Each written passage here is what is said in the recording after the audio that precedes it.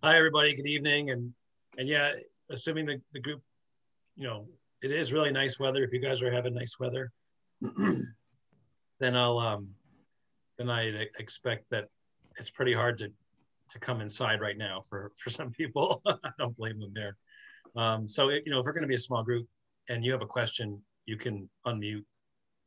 You know, again, we can make it even even a little bit more conversational uh, as that goes. Um, and the worst answer I could give you to a question in the middle of the presentation is wait. You know, just wait, it's coming. But uh, I'll start, I'll share my screen and um, start with an introduction. All right, so uh, yeah, my name is, is Matt LeRoux. Uh, I work as an extension associate for Cornell University uh, in, in CALS, the College of Ag and Life Sciences, in um, in the applied economics department where we do market research, uh, marketing research as well.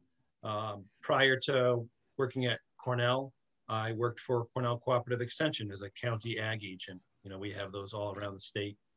And uh, I spent almost 12 years as a cooperative extension agent. That's where I did this project initially was with was through cooperative extension. I also work as an independent uh, marketing consultant. Uh, while I was at Extension, uh, I created the market channel assessment tool, which is uh, a way to evaluate the different market channels that farms are using to market their products. I did that specifically with uh, fruit and vegetable growers.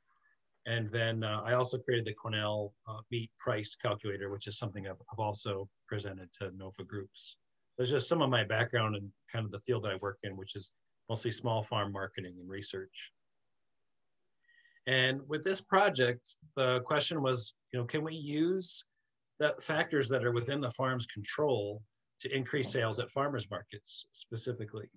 Um, or another way to put that, is it possible to get more money out of the market that you're that you're selling in now?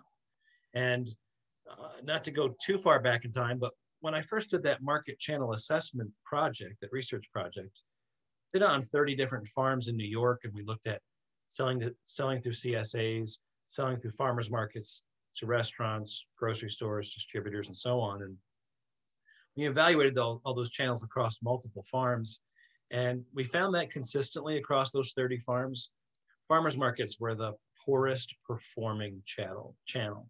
So farms put relatively a large amount of labor into those channels and received a relatively small amount of sales compared to the other channels. So here I was doing this research that, research that said that for any individual farm, and for this group of 30, farmers markets are sort of the worst channel to sell in. but you know, farmers markets also have value that we didn't measure in that project, like getting customer feedback, getting you know market exposure and experience from from participation in those markets. Really, where do you get your new CSA customers from? You get them at the farmers market. They meet you, they see your product, they you know they learn to like you, and then they join your CSA. Or you know, chefs might meet you at the farmers market and then order for their restaurant. So that channel has value. Uh, and farmers enjoy farmers markets. So knowing that farmers markets, you know, we hope they're not going anywhere, how can we take this poor performing channel and make it perform better while we're there?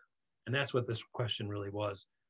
And then there are these factors that are outside the farm's control when it comes to farmers markets. Like, I understand that an individual farm could perhaps influence the number of customers that attend that market. But in general, you know, the length of market, the number of shoppers that are there, and so on. Some of these factors are outside the farm's control. So we have to look at the factors that are within your control.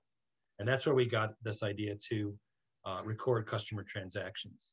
And it, you know, it's when I first saw the point of sale app called Square that you can get on on tablets and, and phones that I realized we have this opportunity to collect a lot of data here very easily.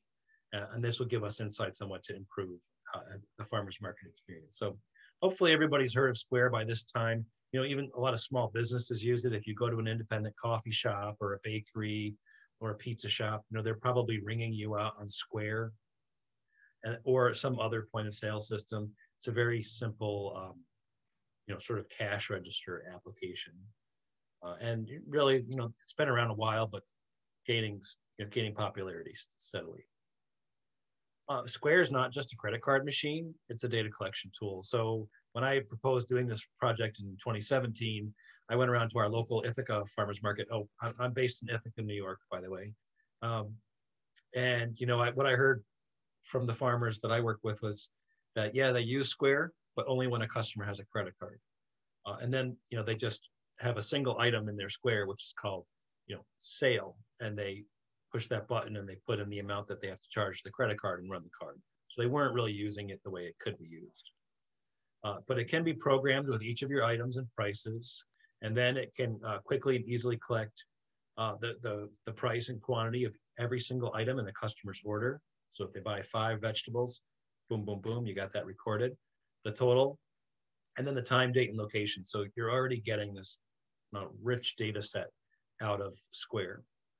In, in addition to what you can get from Square for, for my 2018 research project, we, we recorded the crop mix for each market day. So the number of items that the farm had available for sale uh, at the market.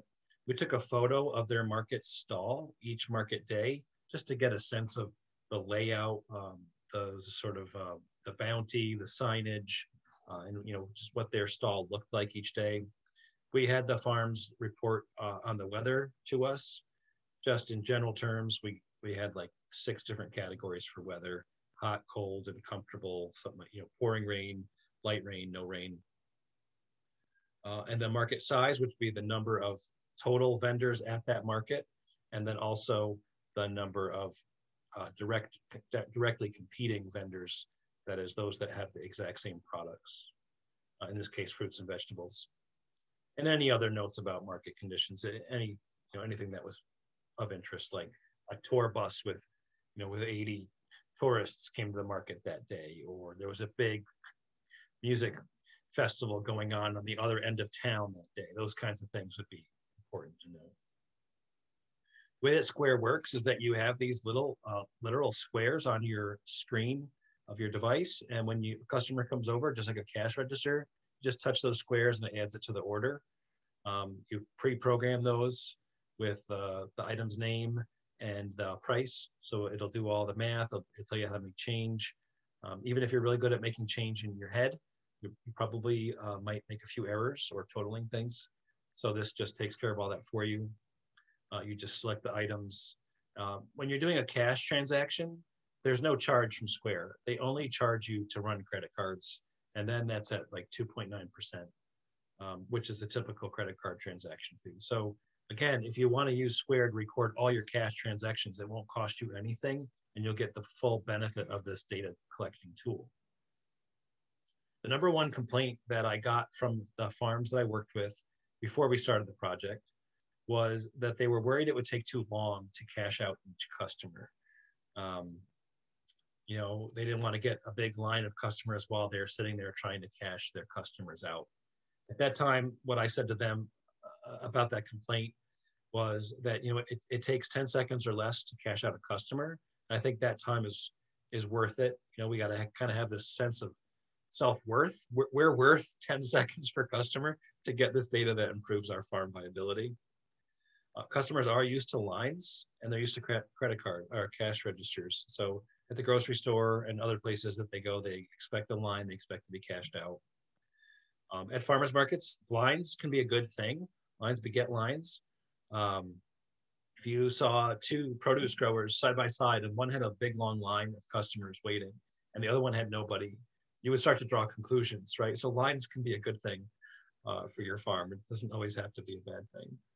And lines certainly don't seem to hurt the prepared food vendors sort of just a, joke among ourselves down here in the Ithaca farmers market region. Um, what we observed with this project was the customer transaction size. So that's the customer's total spending with the farm. We didn't track customer identities whatsoever. So if a customer came and bought something from the farm, walked around the market and came back and bought something else from the farm, we wouldn't know it was the same person. But we just looked at the individual transactions, what time they purchased it, how they paid, how many items they bought total and what those items were, what the weather was, uh, how many items were totally available from the farm that day, and then how many vendors. So what we measured with that data is the customer counts. So the customers per market and per hour for each, each vendor.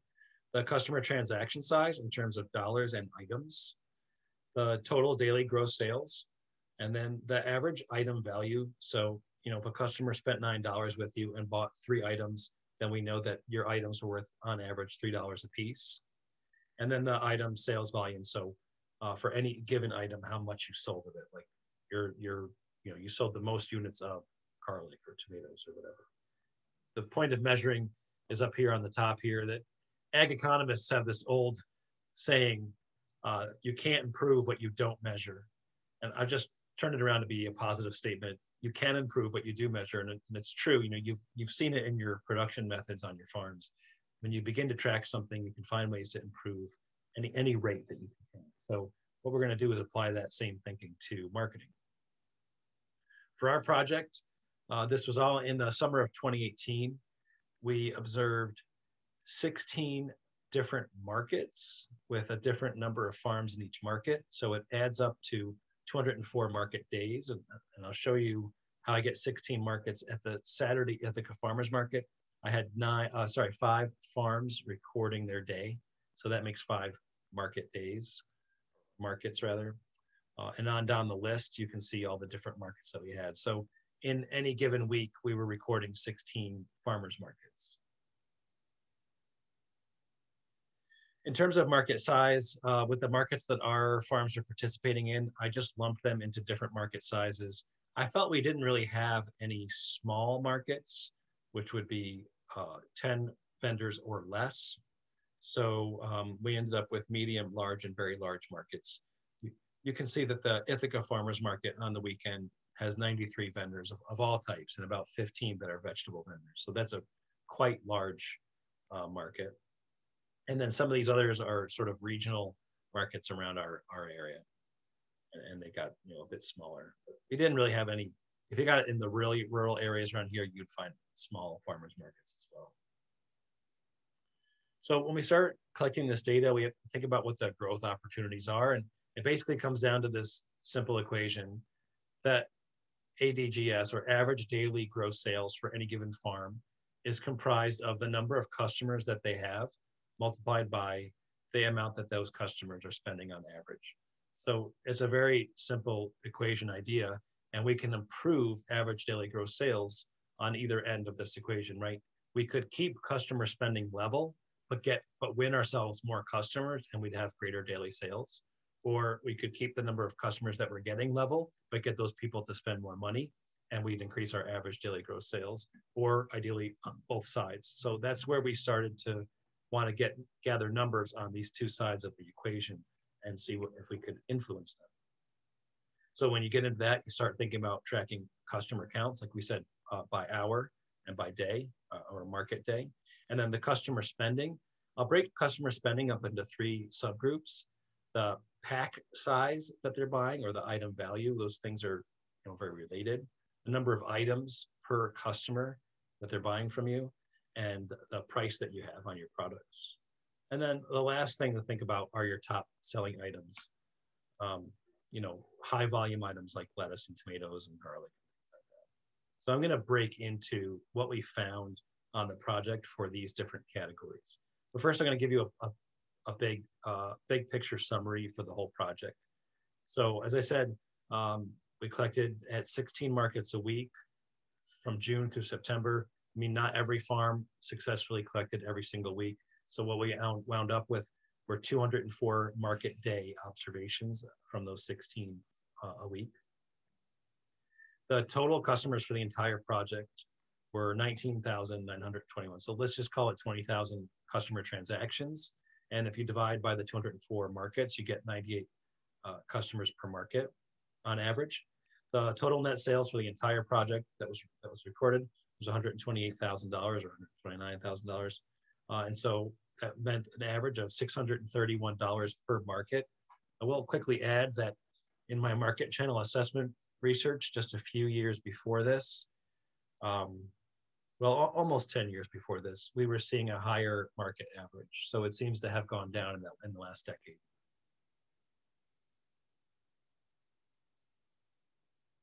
Sorry, I need a little water. Okay, the total number of items that we sold was 38,000. So about 187 items per farm per market. And then the average customer spending across the whole entire project is about $6.50. Um, and since they were buying basically two items each, it's like those items were worth $3.40 a piece. So the average item count was 1.9. That's big picture summary statistics. You know, there's quite a range on each one of these. So when we talk about customers per hour, that range um, was anywhere from as low as 10 customers an hour up to 47, with the, with the average at 20.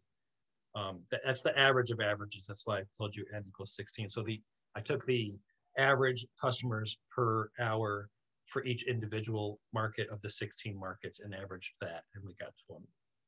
If you look at the entire project, uh, average customers per market is 98. And these markets range in different hours. So I hope, hope that's clear.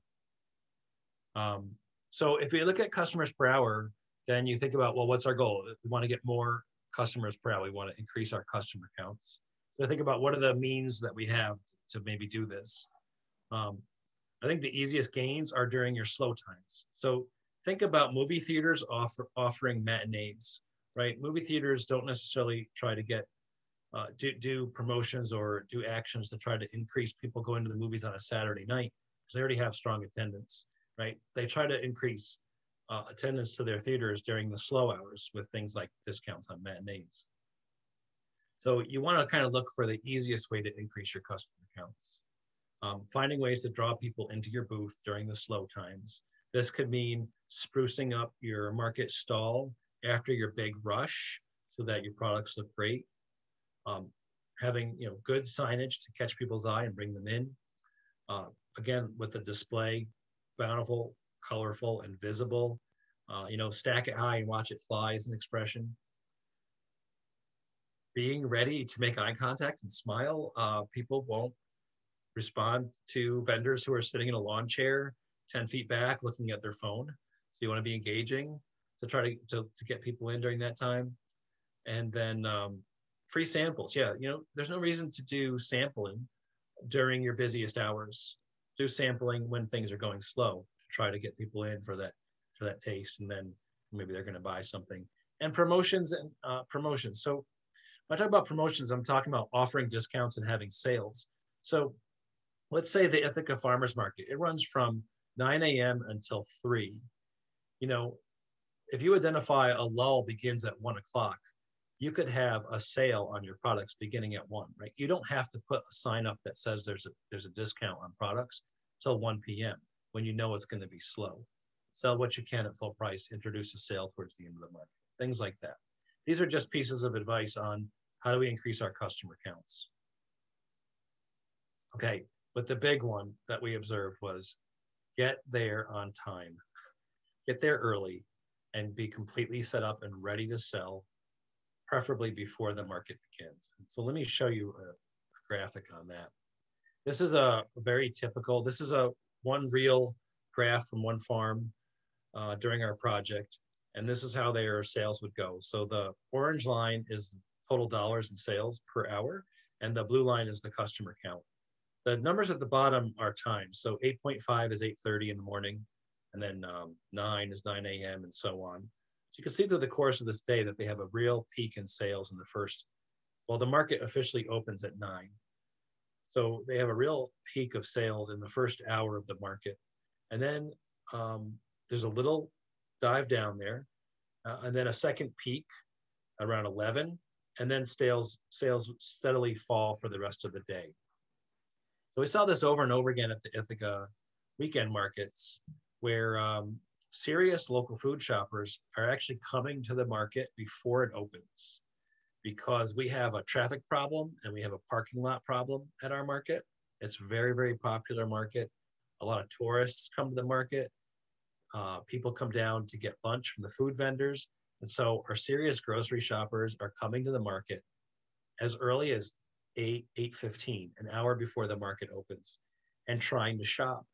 And what I saw when I was going there was vendors who were not set up and not ready to sell, and they lost a lot of sales. So I'm going to call that missed sales. And if you have an early morning market or any of those similar conditions, you know, get to the market early, and if unless there's a rule against it, start be ready to start selling a good half an hour before the market opens. In the, in the case of Ithaca, there's no rule against doing that, and these vendors should definitely have been getting there and setting up and selling earlier. Then we have the period that we're going to call the peak sales. That's about an hour, the first hour of the market. And then we have this little lull, which is an opportunity to refresh and, and, and restock your stall. You know, bring stuff out of the cases, spray everything with uh, a mister, make sure that the stall looks really great because here comes a second peak, another wave. I, I don't, you know, I can't explain why, but there's going to be another wave of customers and, and sales are going to spike again. And this is a very consistent picture across um, the markets that we observed, especially the markets that had morning start. Some of our late afternoon and, and um, evening markets had different patterns, but morning markets had this pattern over and over again. And then for the rest of the day, it's an opportunity to try to get people into your stall just to try to increase customer counts uh, with samples, promotions, smiles, you know, whatever you've got in your, your tool bag to increase sales that's the opportunity to increase sales, not really in that peak first hour. I wouldn't I wouldn't be looking at or a customer counts rather. I wouldn't really be looking at that. All right, and, and you know, this article came out in November of 2020. So our project was in the summer of 2018.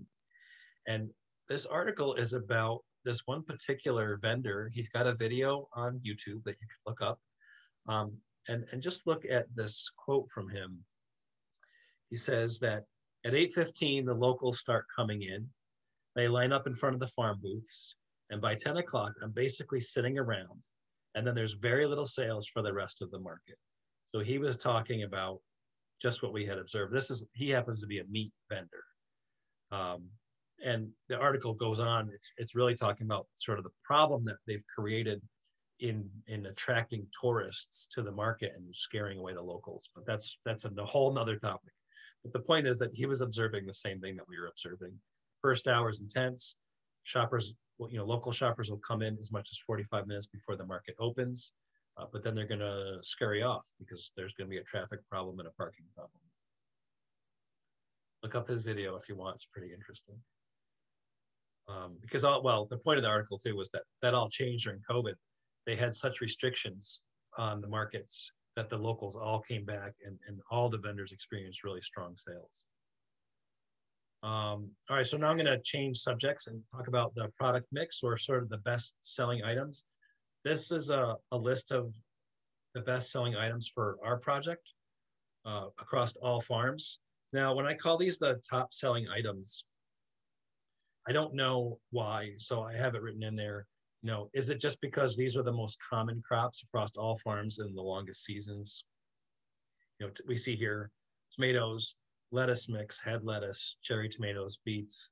You know, these would be items that they could have a really long season on and that perhaps every single farm in the project was growing. So that may be some of why they're the top selling items. It, it doesn't necessarily mean that that's what people want the most. Um, but when you collect data like this, then you'll then you'll have it for yourself and you'll know for your farm what are your top selling crops. And frankly, there's an opportunity if you got if you went beyond the top 20 to look at some of these poor performing crops and evaluate if you should continue to produce them or if perhaps you should offer more variants of the top selling crops.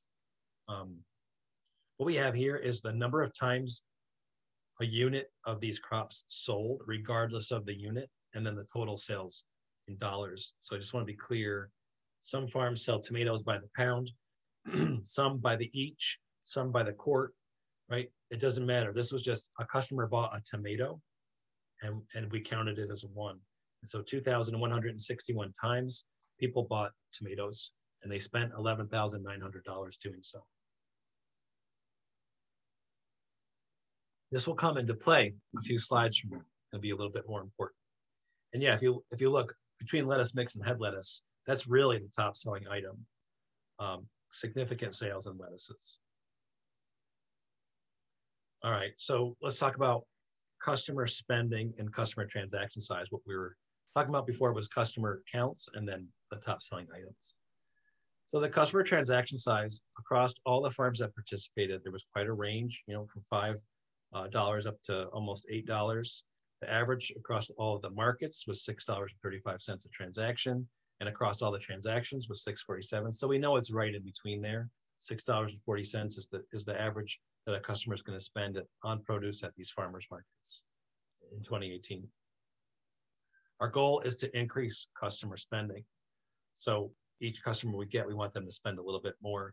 The tools that we have available to us are the product package size, the way that we sell the item, the item value, which is you know hand in hand with product pack size, the number of items that our customers are buying from us, and then pricing. So I'm going to take those three and talk about each one of them in more detail. For product pack size, the goal is to increase the minimum amount that a customer can spend with us. That's going to have a positive impact on our average customer transaction size.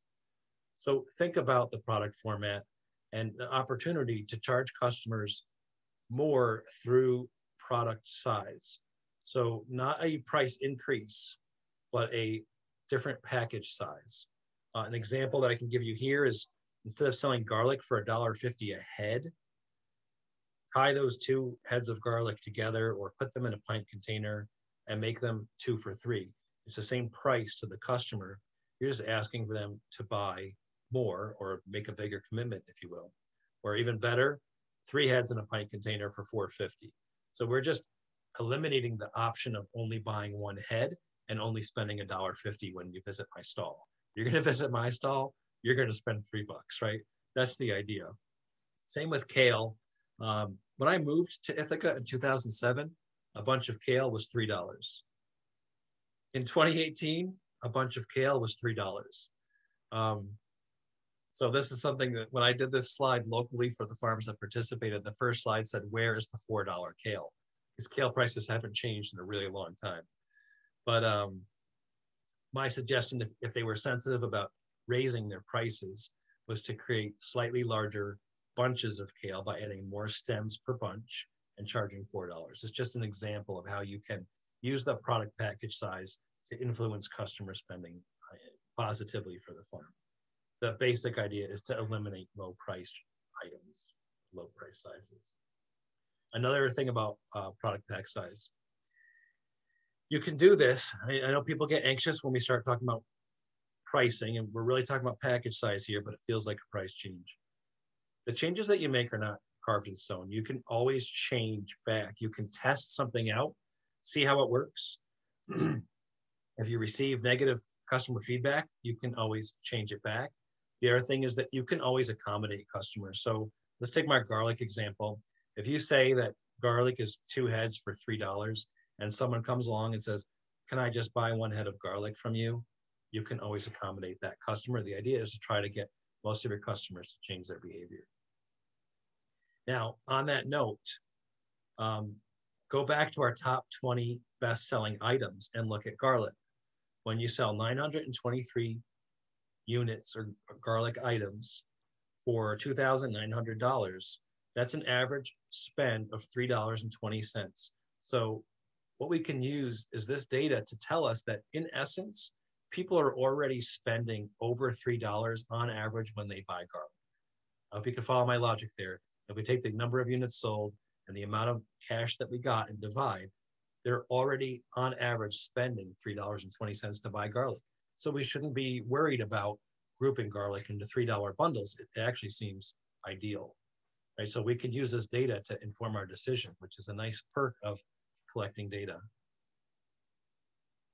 All right, so item value, very similar to product package size, is just looking at um, our item value and finding ways to increase it. The average value of all the items sold in this project, the, the 38,000 items, was $3.38. That included a few oddball items like honey, maple syrup, jams, jellies, and sort of like a uh, salsa.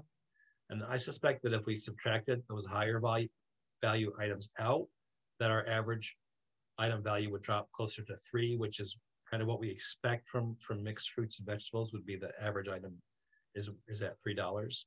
So we'd want to find a way to just increase up from three dollars.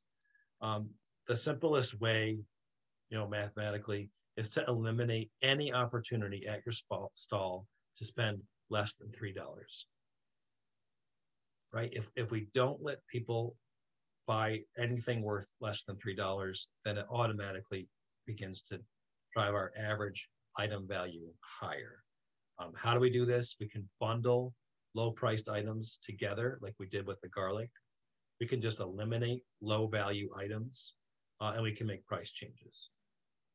I'm gonna go very quickly over the next slide, but I included it when I came to the winter conference um, in person and they told me I should keep it in. I'm gonna talk totally off. Yeah, I'm glad, I'm glad you're laughing, Bill. I really debate this slide every single time, but totally off the farming world. I'm just gonna talk about my own experience. In addition to working in agriculture, I sell parts for Volvos and, and Saabs. And um, thanks to a challenge from my dad, I started tracking all my sales in 2011. And I looked at I looked at uh, average item value for the items that I was selling, and um, I made a conscious decision to try to increase that number. So you can see where through the years, you know, it increases in small amounts year over year. The way that I did that was first of all, I stopped listing for sale low value items. I stopped buying them as well, right into my inventory. Uh, I raised my prices on some items that they were worth more, and I would bundle low price items like a little, you know, a little trim clip. If it's only worth a dollar, then I'll sell it in, in, a bag of 20 of them, right? So that it's a $20 item instead of a $1 item. So just telling you that, you know, I actually have a little experience in this field and uh, that it can be done if you track it and you and you monitor you can um, have a positive effect on that and you can see it didn't hurt uh, me in terms of the number of items that I sold or in my total sales per year. So it had a real positive effect. So going back to vegetables, thanks for, I just wanted to give a, a real world example. All right, so now we're gonna look at uh, ways to positively influence the, the size of customer transactions by looking at the number of items our customers buy. On average, they were buying, let's call it two items across all these markets. So we could increase our, you know, as an individual farm, increase our average by getting more of our one item customers to buy a second item, right? Just talking about improving an average. So not that we have to eliminate all one item customers, but try to move one item customers up to the second item. Ways to do this would be to have your crop mix, including the top selling items, of course, to perhaps try different arrangements. And I don't have specific advice like always put your tomatoes next to your lettuces. Uh, that would take some experimentation, but maybe rearranging the, the market stand. There has been research on how the products are displayed in grocery stores and the impact on sales. And I can tell you that while I'm not familiar with that research, they do find positive effects, meaning that you can rearrange for better sales. So that's something that you could certainly experiment with. You can run specials uh, just to try to influence people to buy more than one item. You know, um, you know, buy any bag of greens two for seven, or you know, buy and pick any four items for twenty for twenty bucks. So these kind of um, sort of bundling sales that encourage people to buy more than one item would be another way to drive them those one item customers up. And finally, uh, from the farms that participated in the project, they said they anecdotally, they've had really good luck just suggesting item pairings. So when their customer picks a green bell pepper um, to, to purchase, they say, you know what would go great with this, you know, pepper is is an onion. And they say anecdotally they have really good luck. The customer tends to say, oh yeah, you're right, grab an onion as well. So they just push that person from one item up to two. So suggested pairings uh, and item suggestions are a good idea. And, and with any of this, what what um what we're going to be able to do with the project that we're going to do with NOFA Vermont, and what I'm suggesting to you, if you do it on your own, is that once you have a baseline set of data for your farm and you've experienced sales for a while, then you can test. You can do little experiments, rearrange the stand, see what happens. Is there an adjustment to the baseline? Is it positive or negative? So it actually, you know, could be scientific and um, beneficial. Now we're going to look at increasing customer spending through product pricing. Basically, let's talk about increasing prices. Uh, particularly, you can raise prices on fast moving and popular items. It, it kind of is about, um, you know, supply and demand, if you will. the higher the price goes, the demand is gonna is going to fall somewhat. Um, but you don't have to be worried about losing some customers over price increases because you can still make the same amount of money when you lose a few customers but have higher prices. And I've given you just a basic example here. Um, if you're selling lettuce at $2.75 a head and you typically sell 200 heads at a market, then you're grossing 550 bucks. If you increase that price all the way up to $3.50 a head and you lose a fraction of, of customers who look at that price and, and move on, you're still going to make $550. In fact, you're going to have extra lettuce heads to either sell in another market or at least that you didn't have to harvest, wash, transport, and so on. So um, price changes, you know, are a necessity as your farm's costs go up. Uh, like I said, here in Ithaca in 2007, a, a bunch of kale was three dollars, and in 2018 it was it was still three dollars. Um, I asked those farms if their cost of production had gone up in the last decade, and of course they said yes.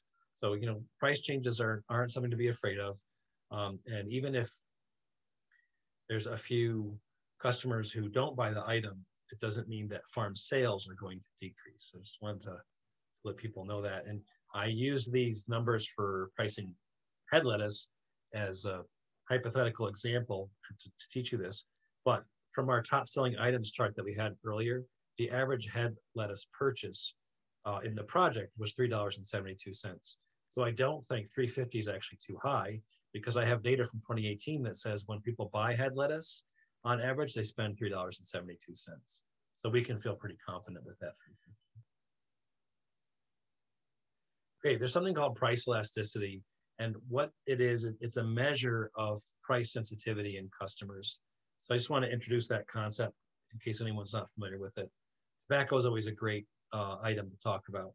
So the idea of price elasticity is that as the price changes, and let's say as the price increases, there are um, customers who won't buy it. So the degree to which you lose customers with price changes is referred to as elasticity. Tobacco is an example of what we call a price inelastic item. In other words, because people really need to have their tobacco, um, as the price goes up, they continue to buy the same amount. So we would call it inelastic. Other things, I don't know the price elasticity of head lettuce, but let's just say, um, you know, Starbucks coffees if the Starbucks coffee price were to increase by 75%, uh, we'd find out how elastic it was, right? Because there's going to be a number of people that go and look at that price and, and refuse to buy it. So there's this concept of elasticity, and we don't have it for uh, we don't have it calculated for vegetables in local foods, but it is something that we're going to be working on in our research at Cornell using point of sale. I just wanted to introduce the, the concept to you. The idea in its application here is that if you went from three dollars per head up to 350 um, you know chances are that the number of units you sell would not suffer too much okay in any research project there's always this thing that i didn't expect to find that i find and for this project the unexpected find was the number of customers that were spending three dollars or less this became something that really stuck out to me um, so I started to track it for all the farms in the project and all the individual markets. So the range, you can see, is quite broad there. The percent of, of customers that spent $3 or less with any at any given market was as low as 14% of customers. That would be a great number, I think, and as high as 45%. So nearly half of their customers are spending $3 or less. The, the average across all markets was was 28% of customers. Here's what drew my attention to it. As I was working with the data from the project, I saw this one particular market day where the farm grossed uh, $1,226 and they had 210 customers. So I broke the spending of those customers up into four groups. Only two customers that day spent $20 or more with the farm. 120 customers spent $5 or less. Out of 210 customers, 120 spent $5 or less. And then there were um, a few in each group in between. We put that out in this graph over here. what you see is the sort of cash contribution to the daily gross sales of each group. The, the group who spent $5 or less took a lot of busy time from the farm, right? It was dealing with 120 different transactions. And that group collectively only gave the farm $347. So those higher spending customers are a lot more value, val- valuable. Um, just just 59 of them, half the number, contributed more to the farm uh, than than the 120. So this you know this is, what got me thinking about um, a lot of the concepts that I introduced in the previous slides. The idea is to try to get more out of the 120 people. How do we do that? Pack size, item count, customers, you know, items per customer, and pricing. Uh, my um, my position as a as a ag extension person is sort of in defense of farms, and I feel like, man, these people had to work really hard to deal with 120 customers for this small contribution to their bottom line, and and you know we could eliminate those low priced items and improve the results for the farm.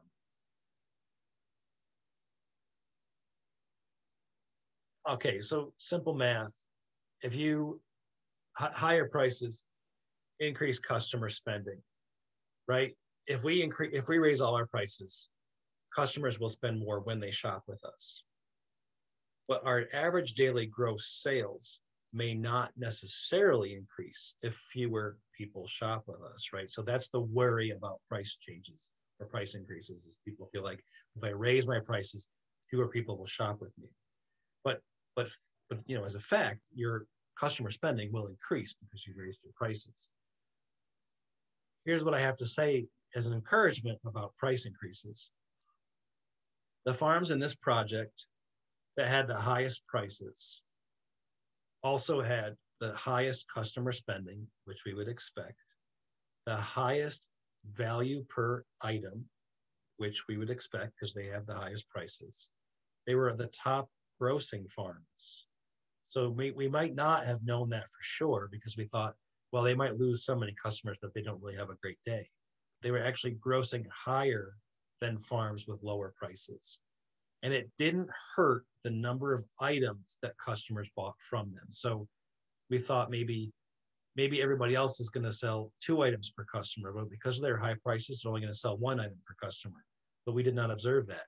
They had the same kind of items per customer that everybody else had and therefore they were they were among the top grossing. So the higher prices really ultimately have a positive effect. Um, this farm would gross, you know, well, there's there's more than one, but these these these high priced farms would gross more than the farm that had 210 customers on the same day, but deal with far fewer people. So that's just uh, a pep talk about price increases, you know, you know, managing them. Uh, and and actually, NOFA had a great um, presentation that I was part of a few weeks ago where they talked about how to handle price increases in terms of communicating that to your customer. And I, I suspect that's probably recorded, and you can go back and look at that. Okay, all this data it gets a little tricky because we have all these moving parts. Like I said, like well, our prices we raise our prices up, then our customer numbers go down. So where does that leave our gross sales? Um, just know that there's a lot of moving parts. Larger, larger customer transactions do not necessarily mean larger daily sales because the chance that we'll lose some customers. And let me give you an example from the data. Hope We found, and this was a surprise, cold weather customers spend more than warm weather customers. But there are so few of them that cold weather markets experience lower gross sales. So you see we have three sliders that we're moving here. Um, and the ultimate outcome is that even though these customers spend more because there's fewer people coming out to the market on a cold day, we're going to experience lower gross sales. And I'll just show that to you really quickly with um, some statistics. So I have a partner on campus who does the statistics. I'm not a linear regression maven, but I can tell you what this slide means. I'll, I do all my statistical work in Excel. I don't use the, the big uh, software packages. But what this says is this is a um, customer transaction size. If the number has a little asterisk, it means that that, that determinant of customer transaction size is statistically significant. And then if it's a positive number, it means it adds that many cents to the customer's transaction. So the one I want to draw your attention to is cold weather. It's st statistically significant. And what we found is that cold weather customers increase their average transaction size by 37 cents. And since the average customer transaction size was what, $6.40, 37 is nothing to sneeze at. So these people spent more money. And this is over 20,000 transactions. Um, so great, they're spending more on cold weather days, 37 cents more per customer or per transaction. But now let's look at daily sales.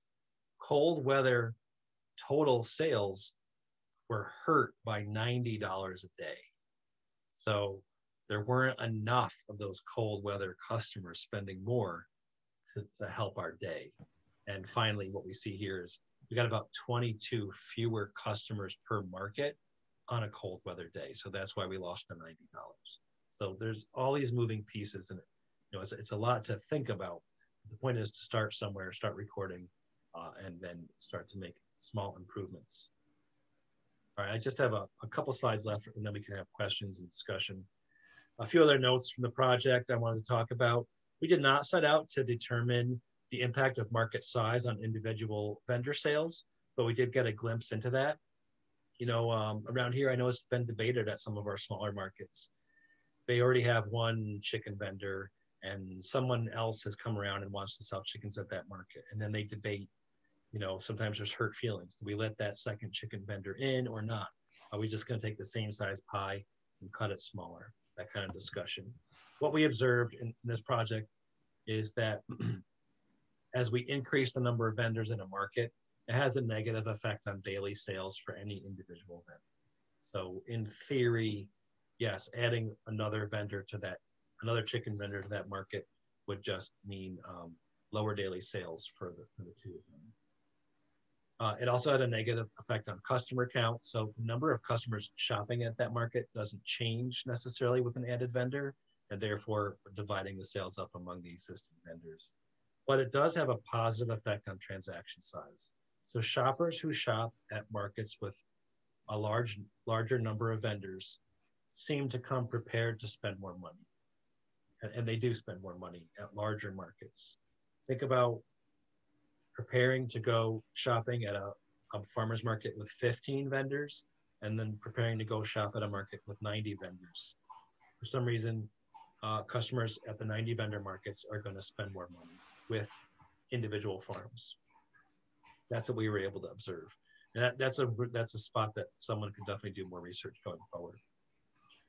I wanted to mention our recording accuracy. So what that means is that we ask the farmers to tell us their total cash box uh, balance at the end of the day, and we would compare it to the transactions recorded in Square. So we could determine how many transactions they captured and how many they missed. And across the project, our average was 90%. So they were recording, you know, if they got really busy or they missed a few sales in the morning because they didn't get the iPad out of the truck yet, that would explain the 90%. But we captured 90% of the transactions, which was pretty good. Uh, a measure of success for me with that project was that uh, when we started the project, one of the eight was using point of sale software. And by the end, um, six out of the eight said that they plan to use it in the 2020 season. And this is a quote from a farm that I really had to strong arm into doing the project with me. She's a good friend, and I had to beg her. And two weeks into the project, she said, How were we ever not doing this? So that was for me a, a great success. And she still uses today. Um, summary choose a metric to focus on uh, for your farm based on your data. You know, get a baseline and then start to introduce changes at the market and see if you can have a positive effect. Um, that could include raising item values, looking at your crop selection and how you display it, engaging customers during slow times, arriving early and being completely ready to sell before the market starts, and possibly raising prices. NOFA Vermont is going to do a point of sale project just, just like the one that I did with fruit and vegetable growers this, uh, this upcoming season. Uh, Bill and I will be working together on this. Um, the farms that we're recruiting into the project would be selling primarily fruits and vegetables. Um, you would have to set up each item that you sell in the point of sale. So, you know, that's with the, the name and the price and the unit. Uh, and then record all your customer transactions uh, in the software. Share those reports with us. So in the case of Square, you don't have to use Square. There are other point of sale platforms out there. We just have to make sure that we could get reports on item sales and transactions. So in Square, that's two different reports. One gives you um, basically gives you a row in Excel for every individual item sold. And then the other report is a line for every transaction totals in those items. I suspect that all point of sale software systems will produce, produce these reports um, to, to put into Excel. What you'll benefit from is that you'll receive summary reports from us, like monthly reports and seasonal reports, and then receive specific advice on how you might increase daily sales or customer counts. I mean, it all ultimately boils down to average daily gross sales. Uh, and in addition, you'll receive some one-on-one technical assistance from Bill and uh. We're only going to be able to accept 10 farms into this because of the, the workload on our side. And Bill will share uh, in the chat box an application form for anyone that wants to apply to be part of the project. I want to mention that I wrote a short article. I think it's you know two two and a half pages long. If you search Cornell Smart Marketing and look at this publication that came out in January of 2020, like I said, you'll find about two pages on the point of sale research that I did. And and finally, I just wanted to share my email. I'll put it in the chat box as well. But if you have questions about the project, um, you're interested in it, you can you can always contact Bill or me. That we can take on question and discussion.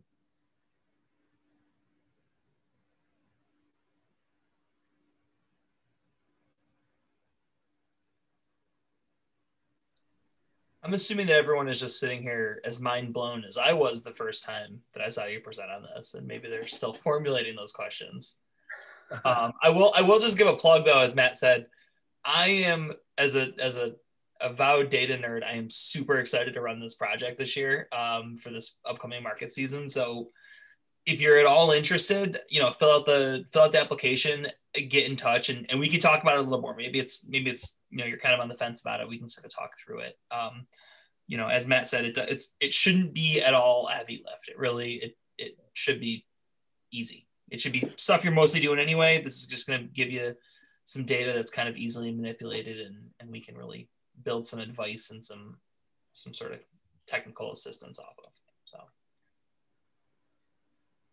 yeah, I agree. You know, it it's really for the rich data that you get, it's not too intense. Like uh, you know, even when I was a grad student, asking people to keep notebooks and keep logs and keep records was a lot more difficult than just having an iPad at your market stall and you know hitting a few things on the screen with each customer. It's, it's brilliant what they came out with um, and the way that we can use it. Andrew here from the Vermont Farmers Market Association. Um, we just had a presentation from the folks behind Eat from Farms, which is a point of sale system. Um, they're actually based out of upstate New York. Um, what are they called? eat from farms. Okay. And um, you you might not be able to plug a specific online point of sale system, um, but they were great. Uh, there's a few farmers markets in Vermont that are using them um, for the whole farmers market, um, but they were actually primarily designed for the individual producer to use at their uh, booth or at their farm stand um, as an online POS. So I will happily plug them because because they're great. Good to know about too. I, I hadn't heard of them.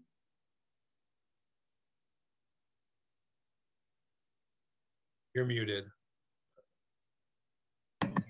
sorry, um, their farmers themselves and um, their solution to this sort of big move towards online point of sale systems was to build the one that they wanted to use. And, and yeah, I don't plug any particular one. The reason I chose Square for our project is, um, well, because it's, it's free. You know, you if you don't run a credit card, you'll never spend a dime. You can set it all up and all that. Um, and it runs on you know iPads and uh, the other kind. Samsung isn't what's the word? you can see I'm not a technology, you know, not either, but uh, you can run it on both kinds, and you know they have pretty decent customer support and all that. But yeah, any any point of sale system that can produce the same outputs works. Android, thank you. Androids uh, and iPads. Although I'll tell you, I had a bunch of interns, and with our project, we loaned out um, iPads to the farms, and then um, we needed more, and the interns told me to go and buy Samsung tablets because they're cheaper. So I went out and bought them, and um, they did not run Square as well. We had more errors and lost data on the Samsungs than the iPads. So just um, 20 summer of 2018 experience. If I were to repeat that part of it, I would just buy iPads because they ran it, they ran it better. And you know, for me, it was heartbreaking to lose a day of data uh, to a, problem with the tablet.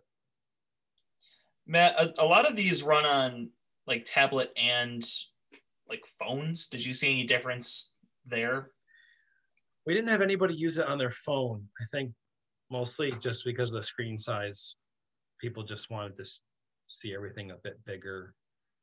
Um, didn't see a problem with that. Uh, you know, I should mention that you don't have to have a data plan to use this either. It works offline. So you, uh, in the case of Square in 2018, you had to be connected to data to log in. So you could log in at home on your home Wi-Fi, right? And then you could go and do the entire market offline. It just save it on the iPad. And when you got back home on Wi-Fi, that's when it would upload. So it's not that you need to have a special data plan or cell reception to do this. Um, almost all the transactions in our project were cash transactions. If you're running a credit card, then it's nice to have that data connection to verify that the card is good. Uh, but when it comes to fruits and vegetable sales, we found that credit cards were not often used. I think that would be different if you were selling meat products. People would tend to use credit cards more because they're bigger purchases.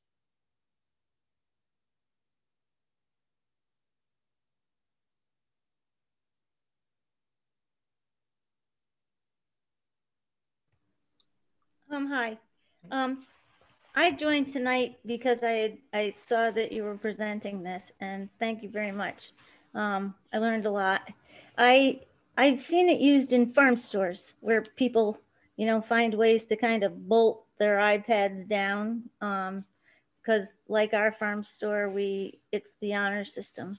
Um, but it it really yeah, I you know I have I have the square that goes on my iPad. I don't I have not downloaded the software, but um, I I just took away a lot of information I think I can use in my farm store as well as you know I have some farmers market experience, but um, we sell from our farm primarily. So thank you.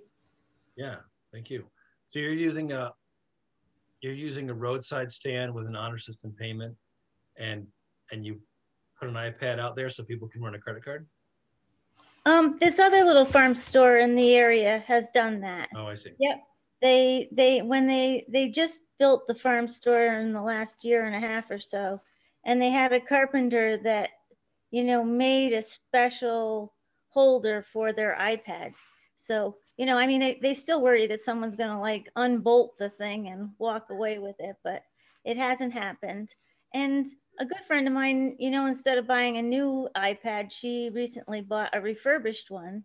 And I just wonder if something like that for $250 instead of, you know, 800 um, would yep. work just as well in a farm store with Square on it. Mm-hmm. And it would make it so that we could take credit cards easy enough.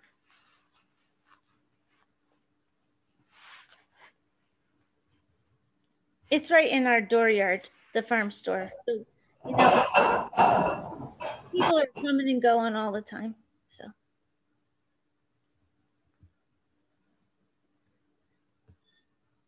Thank you. I think one other one other point too, just to just on that a little bit on like the refurb side. I have a, a friend of mine for their farm. They actually went on Front Porch Forum and asked if anybody had an old tablet they could use, and someone just gave it to him. So you know, it's it doesn't have to be you know I think Matt kind of made this point. It doesn't have to be like the latest and greatest technology. It just needs to work and you know have enough battery life to kind of get you through the day. So Yeah, I was going to mention that the farm that said, "How are we ever not doing this?" She put out an email to all her customers. Did anyone have an iPad? And someone gave her one. People have their three and four year old ones just sitting in a drawer at their house. So one of her customers gave it to her.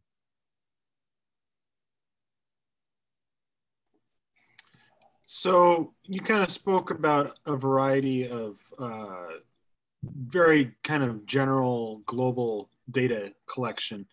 What um, we are already using a point of sale system for our farmers markets. We basically from day one said we had to track every sale. We wanted to be able to get that granularity of information. What other information, you know, besides time and amount and product, do you think would be worthwhile for collecting on an individual farm level? You mean besides what you already get in the point of sale software? Well, I mean, you know, we we can target additional like this is not necessarily realistic for every for in a in a, a widespread data collection effort to try and get uh you know really specific information, but we can potentially get more specific information um you know by either tracking customers or tracking um you know I, I don't i don't i haven't really fully conceptualized what other things we could easily track but um you know we could build a you know, you know a counter to count basically how often people what our purchase rate is for people walking by or um Sure.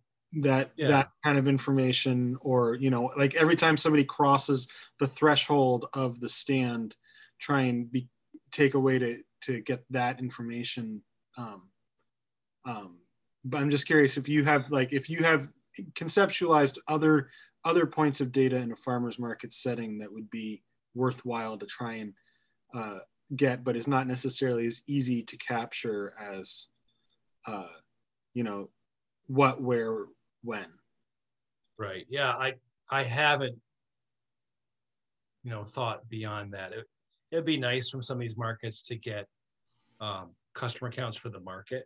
You know, like I know Ithaca Farmers Market, they don't have customer counts for the market. First of all, they have like six points of entry, um, so it'd be really tough for them to count them. But we don't know how many people are there uh, to to sort of use that as a gauge. I think your idea about tracking individual customers you know square does allow you to do that if you have sort of a loyalty program. If they want to identify themselves every time they shop with you um, they can type their phone number in and then you know enter your loyalty program. So you could start looking at individuals but frankly i, I think what what you can already work with you know i don't know how you're using it but it, it's so rich um, that you could you know you could use the data you already receive from your point of sale and then just start to introduce small changes for the effects that you want. So identify a goal, um, try to get our one item customer, more of our one item customers up to two items, and then test it for two weeks and see if you have a positive effect. That's it's. I want to call it a game, and it's not totally a game, but it's almost a game. Uh, you know, try something out, see what the effect is. It might have a negative impact, and you know that. Thank you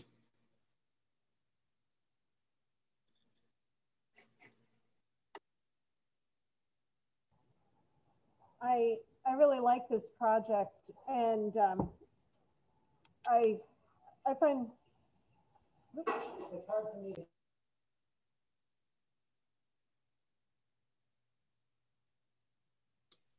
we'll give you a minute, Karen.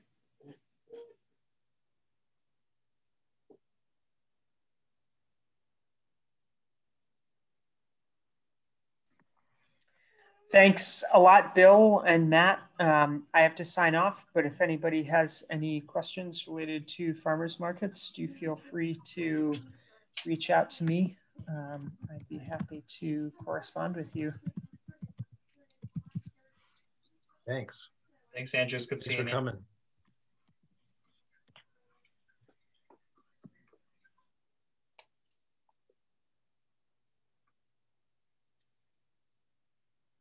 Karen, are you back? No pressure. You can you can ask your question now.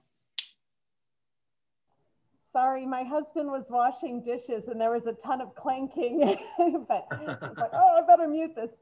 Okay, so um, yeah, I, I like this project a lot, and but we're in kind of an irregular buying pattern with our customers right now because we have so much going flowing out by way of pre-order for pickup at the market um, a lot of pre-orders. And I, in part, I'm just looking for better ways to manage our pre-buy CSA freestyle market stand membership program. So just kind of like pulling that all into one thing. But I feel like our consumer buying habits, we had, we did sell at the market, but not in as fulsome a way as we usually do last summer because we saw tremendous volume flowing through our pre-order system which is pretty rinky dink too. And we're looking to upgrade that as Bill knows. so, but um, yeah, I love this in part just when I think of, you know, we're doing a terrible job as business people filling out our agricultural census and and really dialing into our crop profitability and there are just so many things that you know and how we are running our business that you know can flow out of uh, management tool like this. And you know, we're people who always have kept manual inventory sheets over the years. And I could tell you how many heads of lettuce I sold in July of 2013 until nice. about a few years ago when we stopped being quite as into that. But um, yeah, I, this is um, as we head into the preseason. I'm, you know, I'm liking all of this thinking. Um, uh, I, I, don't think that we're really good candidates for the study because of how irregular our our customers' buying patterns are right now. But um, and we also we we used to go to three farmers markets a week, and a tool like this would have made some of those decisions about which of those markets to boot a little easier. Um, I love that just for how you can really really crunch those numbers on what sells where and um, I, I think that that I think is one of those other little granular elements, really comparing markets, market to market. What is selling where so you can fine tune your inventory and get the right inventory to the right, because you know, we, we sell at three markets that are very different. Um, you know, Bennington is a beach town, Dorset is not, that kind of thing. But this data would have told us that. It took us a few years to figure that out, and this data would have revealed that sooner. So anyway, that's all I have to say. Yeah, thanks. Yeah, I mean, 2020 was so I had I did this all these all this work in 2018 season, and then because I worked at Extension, it took me until the after the 2019 season to present the results to the farm. So it was December of 2019. I was like, here's what we learned from your 2018 season.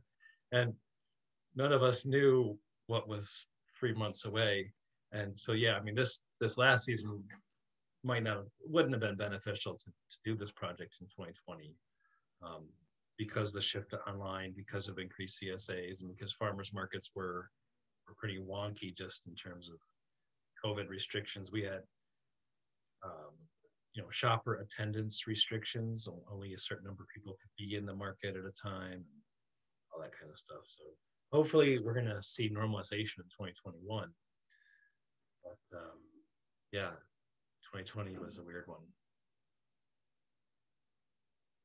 So, uh, so people are feeling like, in general, like there will be a a return to more normal, or do people really like this pre-order gig where they can trot up to their regular stands so quickly and, and get their pre-orders? I, I just wonder, you know, about that consumer mindset these days and, and what others are thinking about that. Well, lots of surveys through the years have said that the number one reason that people do not shop at farmers markets is because they're inconvenient. And I think we just solved that with the pre-order pickup thing. So really like to see what what it's going to do. Uh, and thanks to those online systems, you still get ordering data. I mean, the time of day that they order is less important, but you still get customer transaction data from your online ordering system. There's still an opportunity to look through that and you know try to alter it. Yeah, uh, remains to be seen. I tell you, nothing causes technology adoption like a pandemic, right? every every market around here had been dragging their feet on this idea on you know and then all of a sudden they had it implemented very quickly. And i will also mention that um, I, am down in the southwestern corner of vermont and um, uh, eat from farms was adopted by our market um, and there's sort of a sub account for each. And we're actually not plugged into it because i think we we'll probably go with a, a, different platform for our farm. We've been wiggling around that decision, but um, the market as a whole has had a positive experience with Eat from Farms. If, if you are looking, just to second the comments that were made earlier about Eat from Farms. Yeah, I, a couple of the shoppers have complained about it a little bit, but I, it's not the most elegant of um, those platforms out there, but it is uh, yeah, it's very good and it's um, very reasonably priced.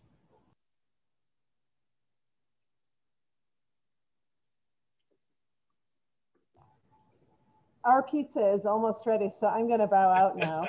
Thanks. Um, we're gonna we're gonna leave it on the million dollar question of what what will this year's farmers market season look like. Yeah.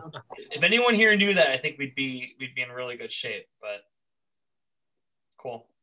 Well, unless there's any other questions, I think we can we can leave it there. You know, I think I really appreciate Matt coming and, and sharing your knowledge and we will um, you'll be you'll be seeing some more information about this project as it goes forward. I'm gonna start to kind of make the push to get some folks enrolled. So Karen, even if you're not a good uh, candidate, tell your friends. we're, we're looking for we're looking for you know a few good few good farms to to be involved. So, but yeah, well, thanks yeah, everybody. Thank thanks, you. Matt. Thanks everybody. Have a good night. Yeah, take it easy. See ya.